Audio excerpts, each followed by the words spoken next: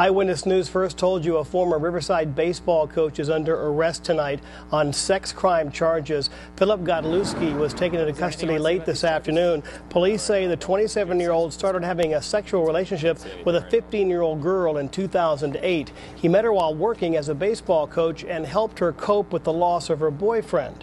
Detectives say they've obtained thousands of text messages linking the pair. They also say Godlewski gave her gifts and even a brand new car. We also executed a search warrant on two vehicles, two Infiniti uh, vehicles.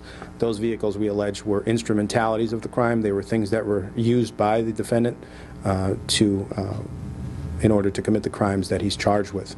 Uh, in essence, to engage in, in uh, sexual behavior with this child. Godlewski is no longer a baseball coach for Riverside, but he does coach for the Taylor American Legion team.